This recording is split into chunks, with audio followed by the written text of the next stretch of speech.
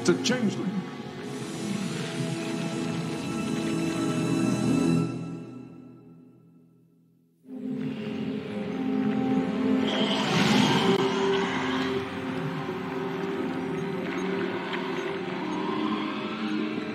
You can't hold its shape.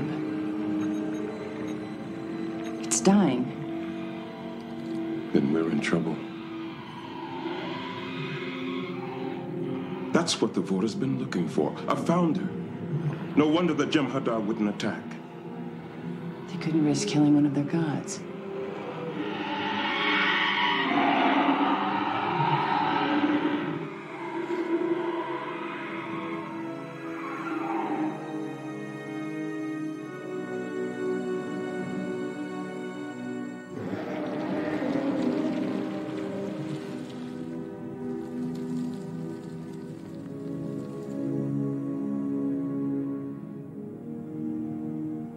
The bombing stopped.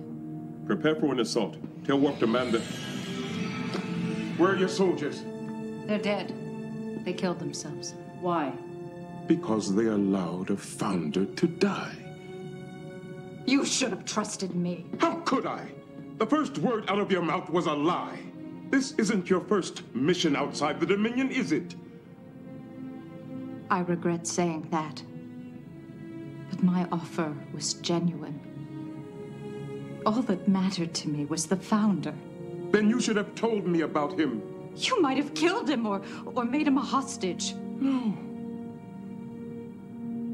All I wanted was the ship.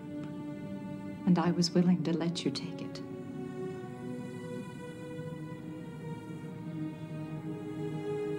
So, this is how it ends. It's true. The Jem'Hadar died by their own hands. Oh, yes. The runabout crew. Your soldiers. They'd all still be alive if we had trusted each other. I have no way of stopping you from taking the ship. All I ask is that you allow me to remove some of the Founder's remains. Of course.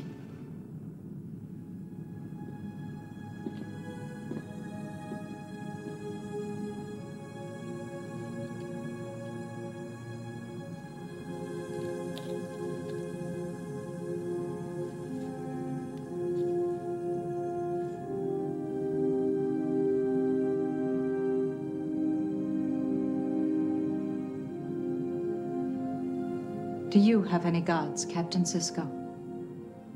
There are things I believe in. Duty. Starfleet, the Federation.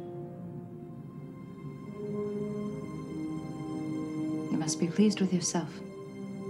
You have the ship to take back to them. I hope it was worth it. So do I.